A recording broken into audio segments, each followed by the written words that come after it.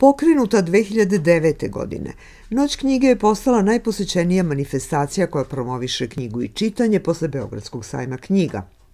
Umesto druženja tokom nekoliko sati, 25. noć knjige trajala je puna tri dana. Zaključak je da su knjiga i pisana reč najbolji prijatelji i lek za dušu u vreme pandemije.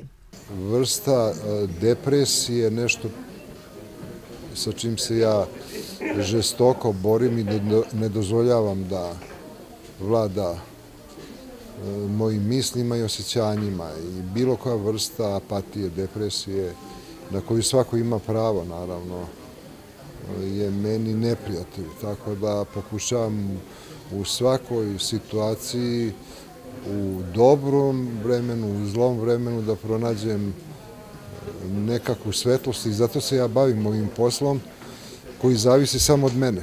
Ovo je odlična prilika bila da se pisci sretnu sa, sa ljudima koji vole knjige, pa nekima koji su čitali njihove knjige ili nekima koji će se tek zainteresovati za njihove knjige.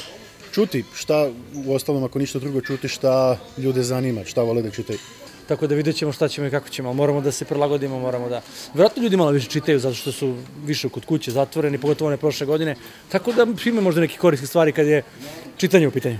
To, je, to mi je spasilo život. Evo, verujte mi, to što sam putovala i što nisam sedela kod kuće prikačena za kompjuter ili za televizor, a s druge strane toliko ima divnih mesta i ljudi i priča, a šta ćete zapisati lepše od toga?